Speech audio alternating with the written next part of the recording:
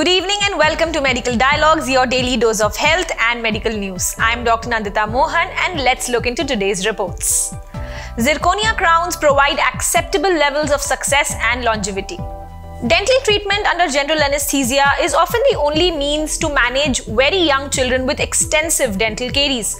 It has been estimated that up to 80% of children who are treated under general anesthesia are below 4 years of age.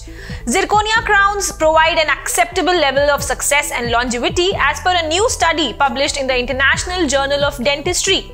Crowns, when placed on teeth after pulp therapy, are more likely to fail when those placed on teeth without pulp therapy, the study reveals. That's all for today. I shall see you tomorrow. Never miss a medical update from Medical Dialogues.